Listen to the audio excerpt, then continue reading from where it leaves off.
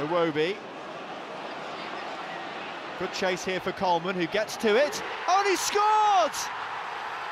An incredible strike from Seamus Coleman! Well, in big games, you need big players, and Seamus Coleman has delivered there.